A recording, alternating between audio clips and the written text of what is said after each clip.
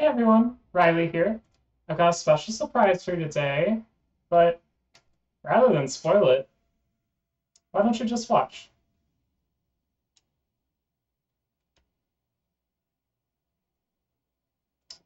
If you're paying attention, you may have noticed that classic controller text, which would imply I'm playing on the Wii Virtual Console. Just keep that in the back of your mind.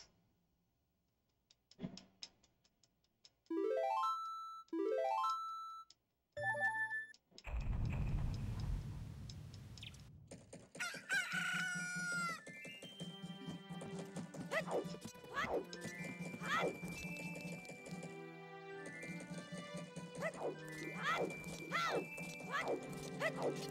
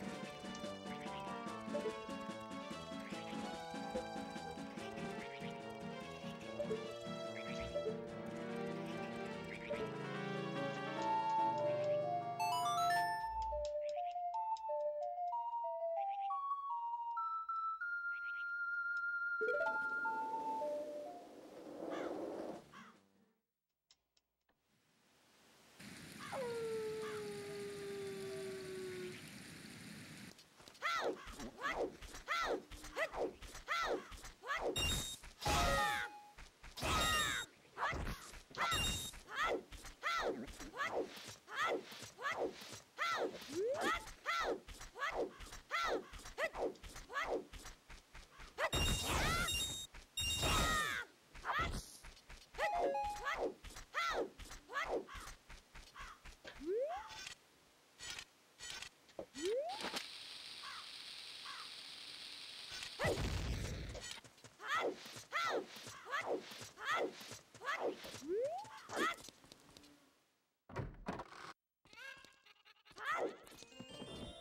Oh!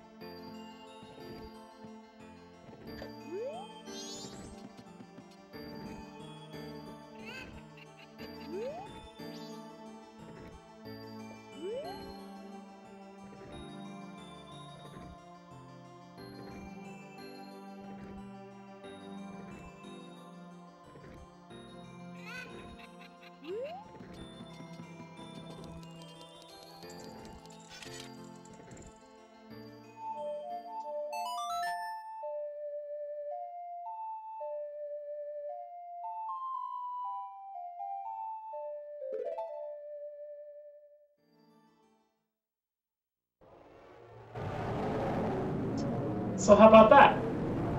This is the first Song of Time-based credits warp on the Wii Virtual Console version of Majora's Mask. Um, I couldn't have done this alone. Um, this was definitely a group effort. Um, Türkenheimer discovered that there's a way to save your coordinates between scenes with Song of Double Time. It only works on the English version of the game, which by no coincidence is the reason I'm playing on the English version. Um, but essentially, when they added the fact that the English Son- Double Time reloads the scene, um, they saved a copy of those coordinates in a place that doesn't get overwritten by scene changes. Um, so I can do that position setup I did in Termina Field, and then go into Observatory and still have those coordinates saved. And, well, here's the credits. I'm not going to play through all of them, because this is actually meant to be a tutorial video. Um, but I wanted to demonstrate it working on vanilla first. But rest assured, they do play through to completion, and I will link a video of that happening, um, of a video that Genesis took in the description. So anyway, let's get on to the actual tutorial part here. So for the tutorial, I'm going to be using the Majora's Mask practice ROM, which is called KZ. Um, KZ is basically, if you're familiar with Ocarina of Time, it's sort of like GZ, but for MM. Um, it has save states, and it has memory watches, and you can even view memory. So that's going to be pretty helpful in explaining what's going on here. Now, there is one more thing I want to mention, and that's that this credits warp does not work on Dolphin and I will be doing a whole section of this video explaining why it doesn't work on Dolphin. Um, but I'll include a timestamp so you can skip over it, because it's a pretty technical description. Um, maybe I will send this video to the Dolphin developers and see if they can fix the bug, as it were. Um, but anyway, so to start, you're going to come into... Well, first, make sure you have Bomb Bag. Get Bomb Bag in first cycle, pretty easy thing to remember for the first 22 minutes of the game. Um, so then you're going to target this wall literally anywhere, except don't do it too far in this corner. Um, so like any anywhere in here is fine. Um, turn backwards and do two rolls. You can mash the A button for the rolls. Um, you don't have to, but you can, and it doesn't affect your position at all. So you might as well just be a little bit faster and then turn back, and then we're going to do five vertical slashes. Again, you can mash these as long as you don't get a triple slash. So just space them just enough to where you're not going to get a triple slash, and then you'll be fine. If you notice there, I did two fast ones and then a slow one. That's one way to avoid a triple slash, because you need three fast ones in a row to get a triple slash. Um, and then you're going to do an untargeted shield slash, which is where you just press B and then immediately hold shield turn right, do it again. Okay, then walk forward until you're up against this wall. Then you're going to back walk until...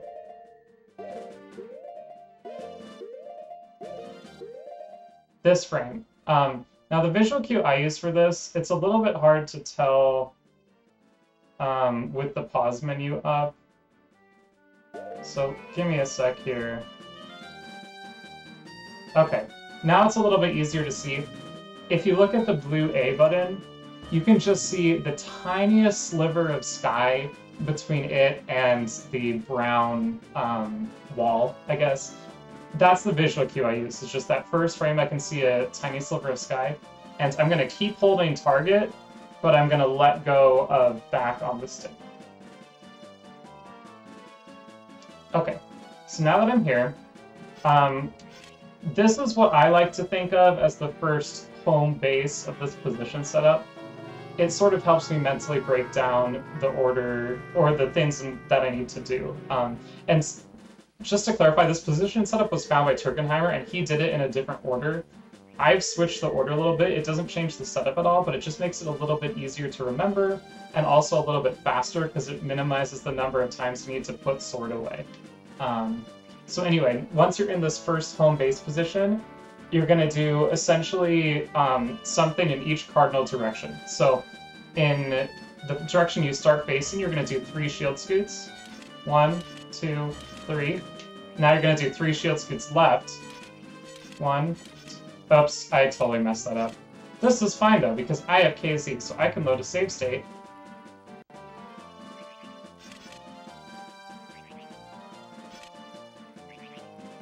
Um, which one was it? Was it... I think it's one. Yeah, here we go. Okay, so this is my home base position again. So, three shield scoots forward. Two, three, three to the left. One, two, three. Okay, and then turn down. Put away your sword before you target, because you notice from doing the shield scoots, the put away timer already starts, so your A button should already say put away now. So put away sword, and then do three rolls. And then turn left, and then do four rolls. And again, you can mash A, and it's not going to change your position at all, so you might as well just to be fast. Um, okay, so now that we've done something in each cardinal direction, this is what I like to think of as the second home base.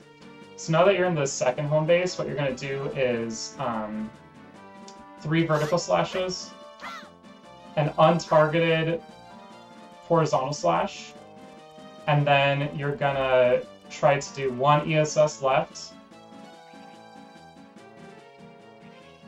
which is a little bit hard to do on VC. Okay, yeah, I messed it up. But that's fine, because I do have a save state. Um, I think it's this one. Yeah, here we go. Okay, so three vertical slashes, one neutral horizontal slash, one ESS left. There we go. And then you're gonna do, um, you don't have to retarget there, that was just muscle memory. You're gonna do one shield slash, and then you're gonna do one diagonal slash, which is where you tap right and press B really quick succession. Like that. Okay, now your coordinates, your y and z coordinates are perfect, and all you need to do is adjust your angle. Your angle needs to have 5, 3 in the first byte. The second byte can be whatever it wants. So since the second byte can be whatever it wants, we can actually just kind of YOLO this with CF. Um, the visual cue I use is I try to get the, the third heart.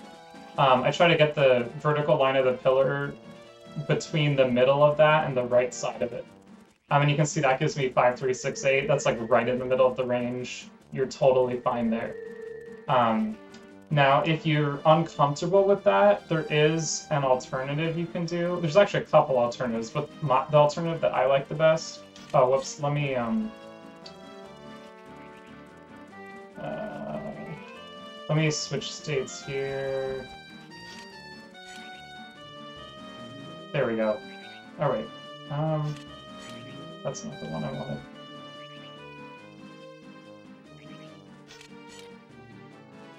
This is the one I wanted. Okay. So my position's correct. Um, so if you don't want to do the C up setup, what you can do is you can just do 2 ESS left to 5-5 there, where your angle is 5-5. And then you can still C up, but this time you can buffer one CF to the right. Okay. And then as you're unpausing here, start holding target and unpause lag to buffer a target press. As you can see, me holding target there has my facing angle at 5.3 EC, which is exactly what we want. If I didn't hold target, it would have gone too far to the right. So now you can just mash Ocarina, and we're going to play Song of Double Time. Now what Song of Double Time does is it saves our coordinates, because Song of Double Time reloads the scene on the English version of the game. Um, so in order to spawn you back at the same place, it needs to have a copy of your coordinates somewhere that persists between scene loads. And that's the key feature we're exploiting here. So now we have our position, and um, do I want to explain this now or afterwards? I'll do it afterwards. I wanted to do a technical explanation of what's actually happening, but I think I will do it after I finish the tutorial part. So now you're just going to want to grab some bombs. Uh, you only need one drop, and I got a drop on my first try, so that's pretty cool. I do have cheats on, so it doesn't really matter for me, but yeah, you only need one drop. You're going to use all five bombs. Um, so the first one, you're going to do a recoil flip here. Um, for that recoil flip, you just want to do a shield turn down left, um, drop the bomb so that it's drop the bomb early. Because if you have the bomb if you drop the bomb right before the flip you're going to clip out of bounds. So drop the bomb early do a recoil flip backwards and immediately switch to holding right and you'll clip through every time no problems. The holding right really makes it a lot more consistent. Okay so now that you're in observatory you're going to break those three pots get their drops and then you're to go into hideout drop a bomb and then gonna go back into hideout again, and then back into observatory. And then you're gonna break these two pots, drop two bombs, and then come in here. And then come back out. And now we're gonna do the super slide. So just target this wall, get inverted cam to the right. You can also get inverted cam in another direction if you prefer, but this is just sort of what I like to do. Um, it's the old setup for chest SRM, basically. Okay, um, line Link's head up to where the front of his hair is either touching or just barely over that black vertical bar texture on the wall. So, like, right here is perfect. Drop a bomb, get in front of the pot, get a super slide, let go of target. Okay, now, now you have your invisible pot. So now we're going to come back into observatory. Try to get a diagonal angle like this, because it's going to make this part a little easier. So what we need to do here is we need to target this invisible wall that's sort of between this crate on Link's right and this corner of the Scarecrow platform on Link's left. So what you want to do is you want to get like sort of right in between those, let go of target, and walk directly into it to where Link isn't really changing position at all. Like that. Then target, and you'll get 8207. The reason we do this backwards is because if you're facing forwards, Tatl's gonna aggro on that silly cucco there, and it's gonna mess you up. So if you have your camera facing the other way, Tatl won't bother you. Um, so now that we have 8207, we're just gonna get away from the cucco, and then we're gonna do 2 ESS right.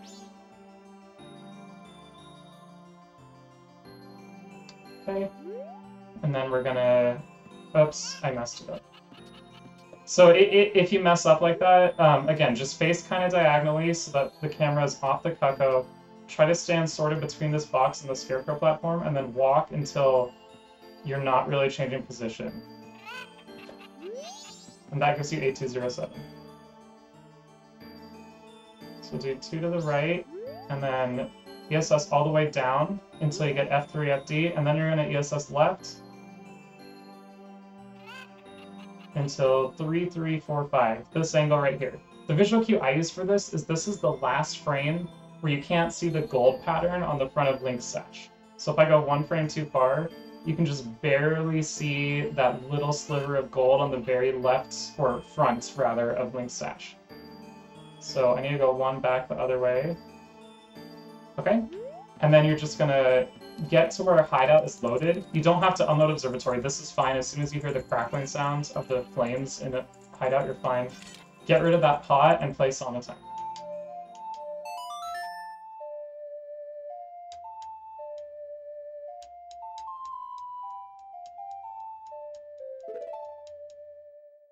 And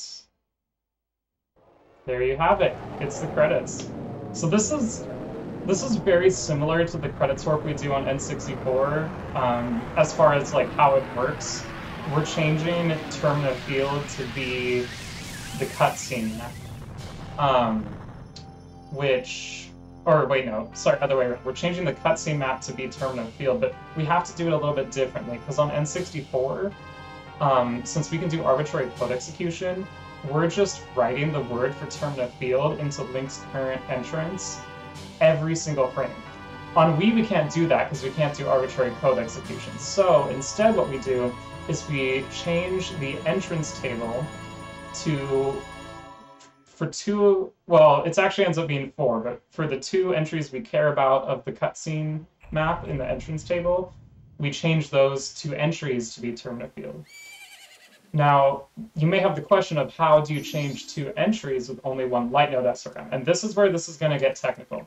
So let me load a state here. I'm going to load the state right before um, right before I do this thing, so that way we can just take a look at what's going on in memory.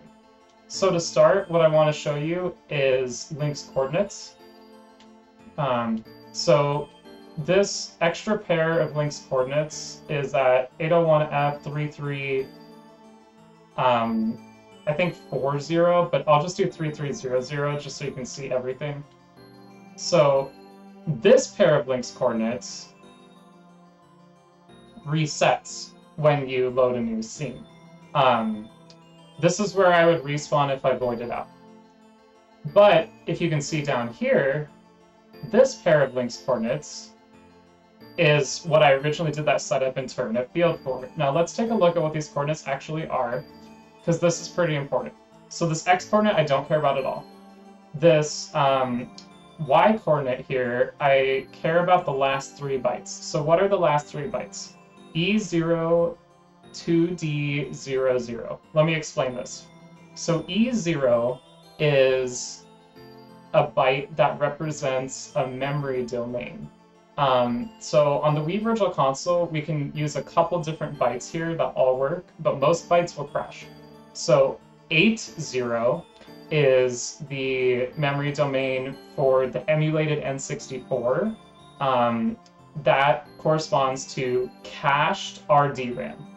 Now, uh, RDRAM is just the RAM of the N64, but it's it, it's called Rambus, which is a brand name, and then dynamic random access memory. So it's RDRAM.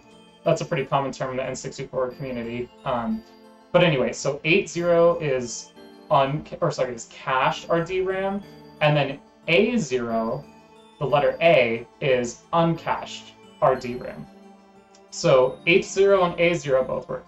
Now, this is where it gets interesting because we can actually use the um, memory domains for the Wii as well. So C0 is the memory domain for uncached um, Mem1 on the Wii. So the Wii has two memory banks, Memory 1 and Memory 2, called Mem1 and Mem2. Um, Mem1 is 24 megabytes of fast 1T SRAM, and Mem2 is 64 megabytes of GDDR3 RAM, I believe. Um, so this is in the the game the the game's emulated RAM, the N64 emulated RAM. That is in the fast Wii memory, which is Mem1. It's smaller but faster, and the for the uncached version of that, the memory domain is C0. E0 also works, and I'm not 100% sure what that corresponds to. I think it might be... Actually, I don't really know what E0 corresponds to. Um, you know what it could be, though? Is on the N64, E0 corresponds to um, the... What's it called? The TLB, the Translation Look Aside Buffer. And I know that Paper Mario uses E0 memory addresses. And this game on Wii Virtual Console was released after Paper Mario was. So it's possible they just built in E0 to the emulator um, as an option, as a valid option.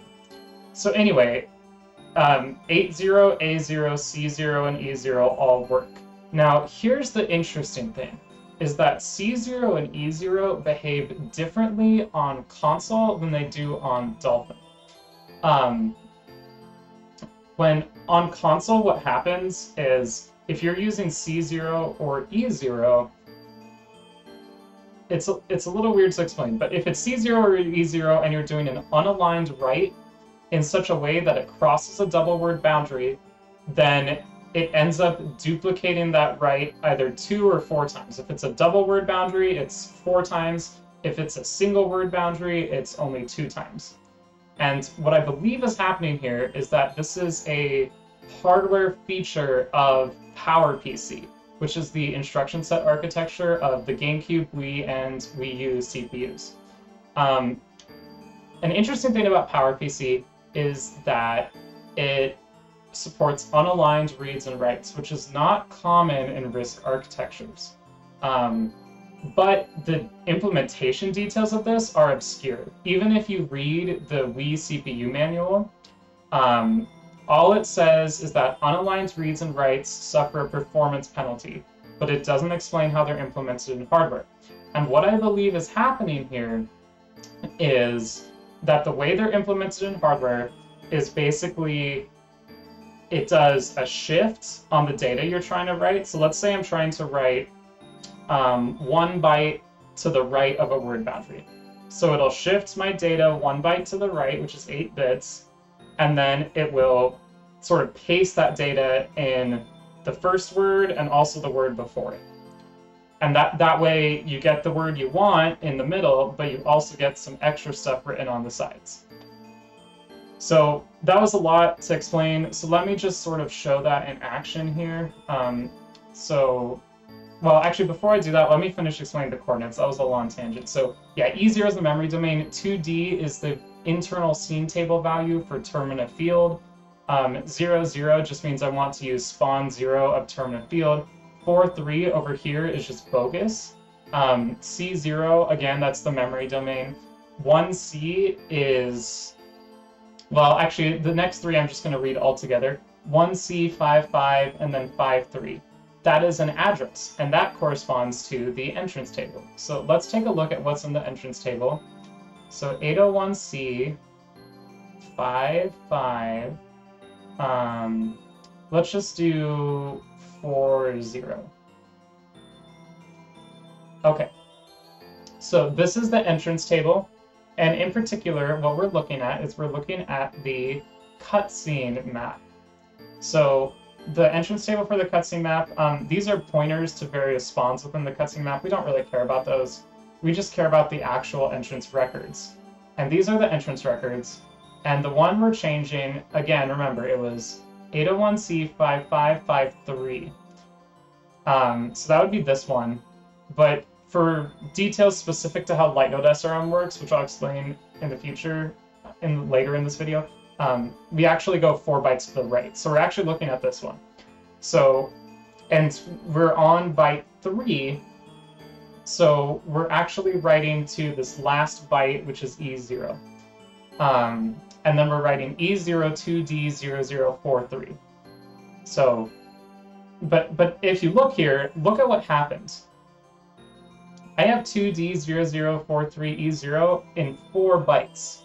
Again, I should have only had it in... I should have had 3 bytes on this word, and then I should have had 1 byte on that word, and that's it.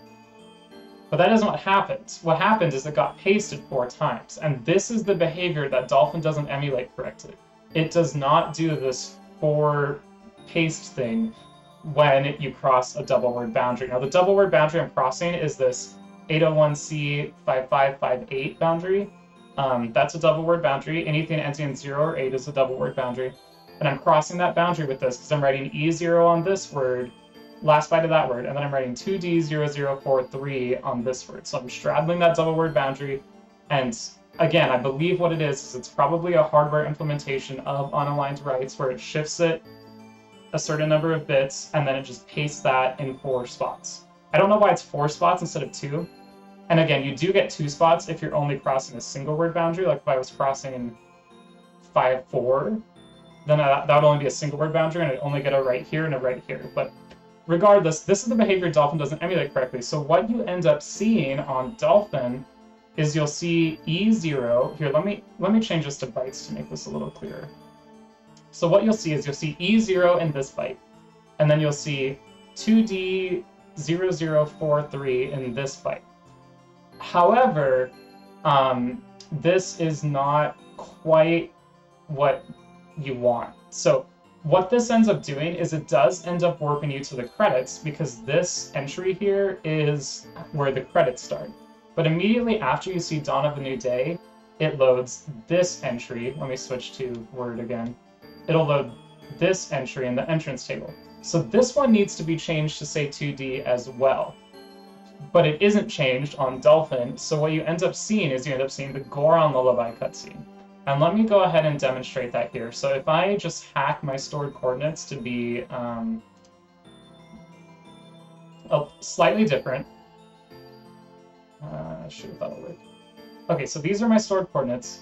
Now remember how I said this double word and quad word write behavior? This is what we called in the MM community. It's double word write and quad word write. Um, this only happens when we're using C0 or E0 memory domain. So if I switch this to 8.0 or A0, it won't happen. Um, So if I switch this to be an 8, so that's my saved coordinates, and then I return to the game here.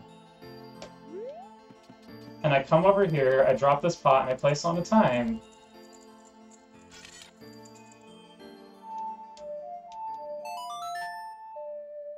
Bum, bum, bum,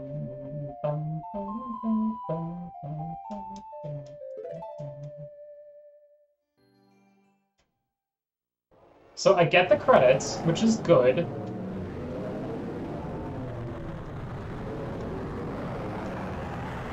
Let's just watch through the first, like, 30 seconds of this so that I can show you what I'm talking about. Oh, actually, one sec. Um, since I've already written to this on this save file, I need to change something. Uh, actually, one sec. Uh,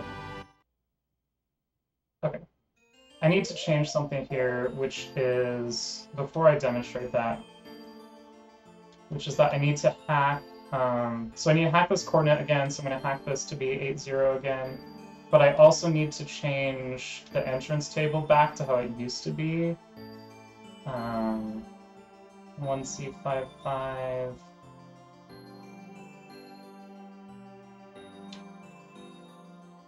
Five five three eight. That'll be fine. Or yeah, that'll be fine. Okay, so what I need to do is let me just change this all back to how it used to be. So these are all F8s. F8. As you can see by the surrounding um, words, F8 is the internal scene value for um, the cutscene map. So I'm just going to change these all to F8s.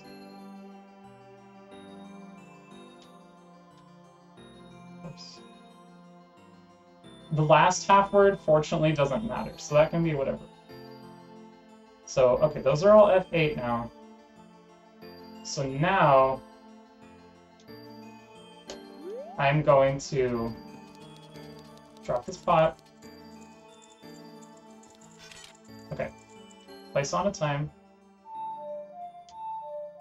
And while I'm doing that, let's watch this memory. So remember, when I'm doing C0 on hardware, I get four words written. But on Dolphin, I only get the single word written. This is still hardware, but I'm just demonstrating what happens on Dolphin on hardware just because it's easier with my streaming setup.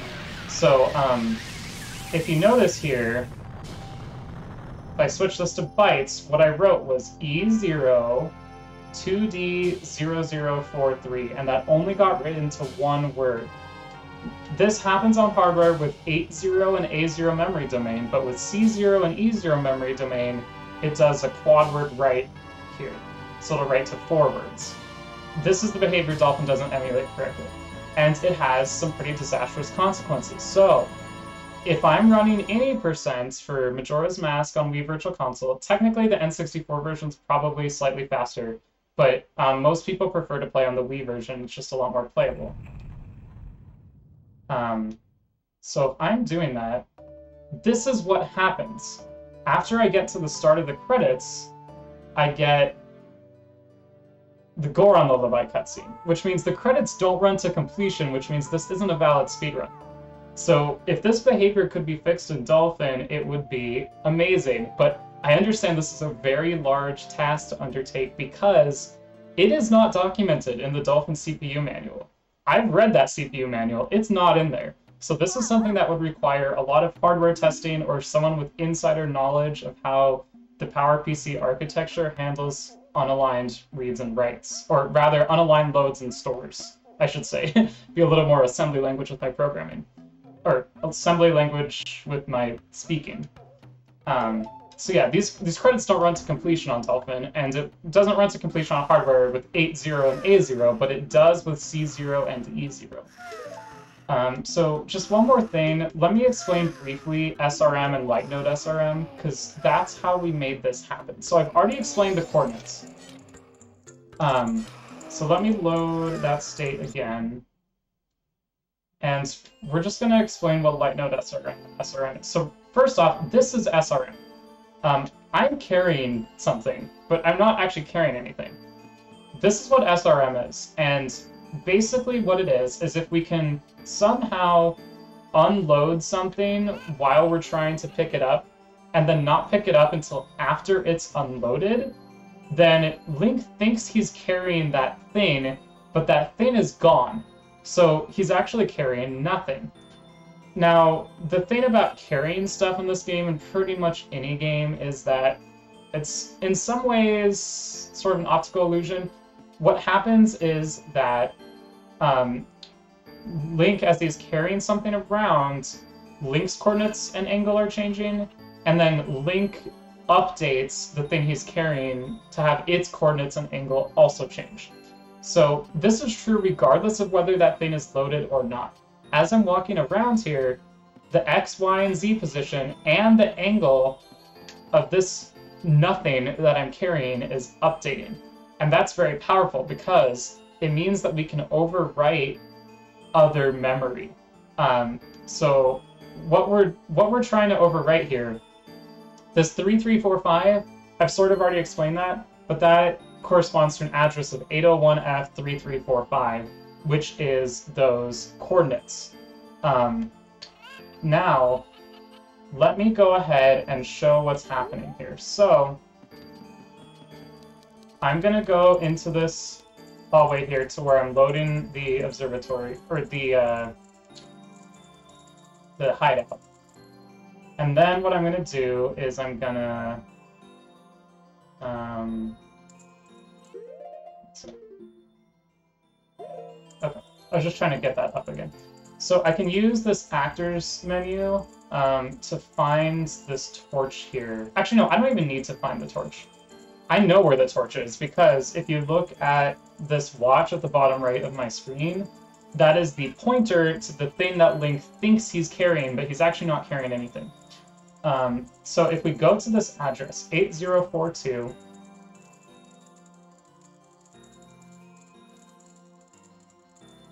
eight A two zero. Okay. So let's, and then let me change this to be half word. Um, oh wait, sorry. This is the address of the thing Link thinks he's carrying. Now, we're using the angle of it, which happens to be at offset 0x32. So if you notice this byte that I've, or this word, half word that I've highlighted here, this is Link's angle. See, as I change the angle, this changes. But the 801F stays the same. So combined with the 801F right before it, this is forming a pointer. So what is this pointer? So this is a pointer inside of a torch. And torches produce light. In this game, the way dynamic lighting sources are handled is that there is a doubly linked list of all dynamic lighting sources, and it's in this 801F region of memory. And if you don't know what a double linked list is, it's a basic computer science concept, but essentially what it is, is it is a collection of things that are not necessarily stored in memory in the order they're supposed to be interpreted. So like for instance, I can have, let's say this is an apple, this is an orange, and this is a, I don't know, a pear. Um, and let's say I want them to be in that order, apple, orange, pear. So if I was using an array in computer programming, I would just have them all in a row like this. But with a doubly linked list, what I can have is I can have, for instance, orange, pear, apple. But the apple's next pointer points to the orange, and then the orange's next pointer points to the pear, and likewise the pear's previous pointer points to the orange, and the orange's previous pointer points to the apple. So it's essentially just a very basic structure. It, it's just a node on top of the data that you're storing, and a node is just a pointer to the next entry and a pointer to the previous entry. So what this is a pointer to is it's a pointer to this torch's entry in the doubly linked list of dynamic lighting sources. Um, and Well, when the dynamic lighting source unloads, it has to remove itself from the list. So the way it does that is with the following two lines of code that I'm just going to say out loud, I guess. Um, it is node. Again, the node is sort of just the collection of next and previous pointers on that entry of the linked list. So it's node arrow next arrow prev equals node arrow prev, and node arrow prev arrow next equals node arrow next. So th all this is, is it's just removing itself from the linked list by taking the previous entry in the linked list and telling it to point over it, if that makes sense. Like if I have this apple, orange, pear example again, um, let's say I'm trying to remove the orange, boom, orange is gone. Now I just have apple and pear. But the apple and pear have to know that they're the only ones in the list. So the apple's next pointer needs to point to um, the orange's old next pointer. So the apple's next pointer now needs to point to the pear, and the pear's previous pointer now needs to point to the apple. And that's essentially what's happening there. Um, so anyway, as soon as we unload this torch, it's going to remove itself from this linked list. And again, it's just going to do those two lines of code. Now, since we've changed the address of this to be, um, uh, one sec, okay. So this is our actual angle. So since we've changed this address to be 801F3345, it's going to look there instead. And again, this is just that saved copy of our coordinates, so I'll show it one more time. 80F uh, or 80F3345. Uh, 3, 3. That'll be good enough. Okay. So 801F3345, that's here. And again, it's it's an unaligned read and write here. So I'm going to switch it to bytes to make it a little bit clearer, but 801F3345 is um, is this? No, this. It's this byte, but because of the way that node dot that node.prev.next and that node.next.prev works, essentially it ends up being plus one word, so plus four bytes from the address we put. So it'll actually go here. So it'll be E02D0043. So the one we're looking at here, so this is the prev pointer, and this would be the next pointer here. So what we want is the, one we care about. There's two writes, but the one we care about is node arrow next arrow prev. So this is the node. This is the next pointer. And then we care about, and then the previous of that.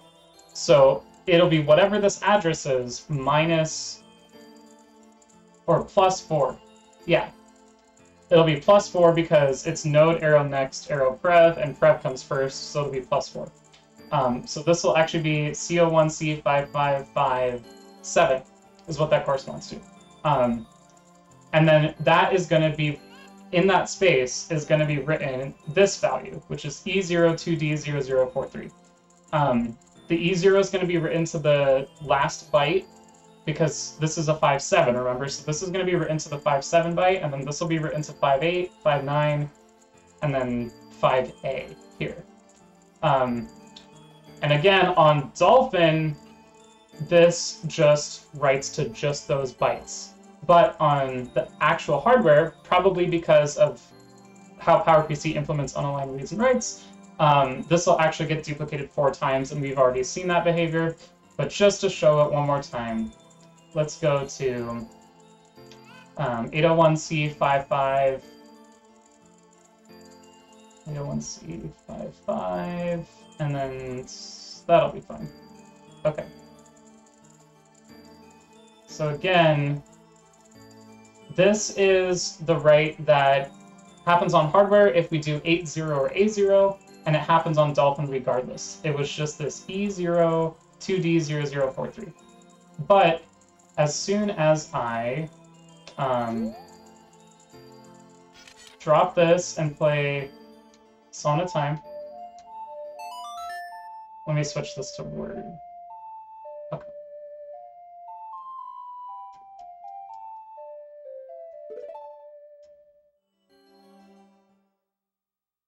It will write to all four words.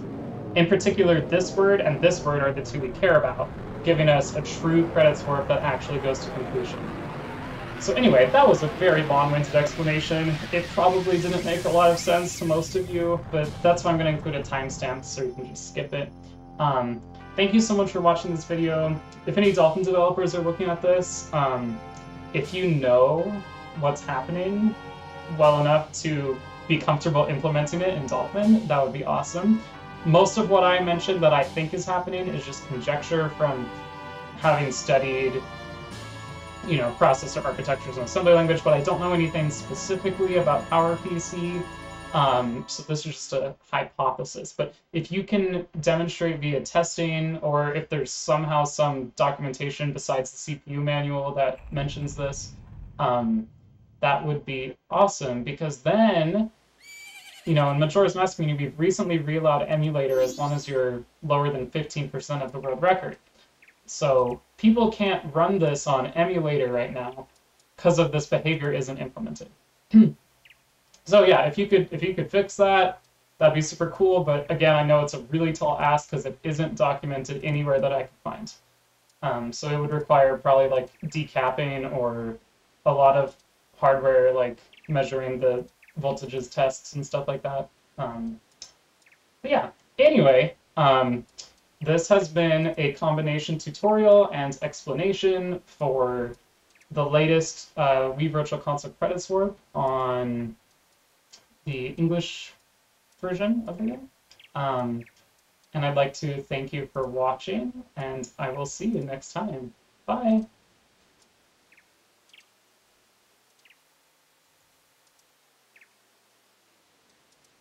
Uh, hello?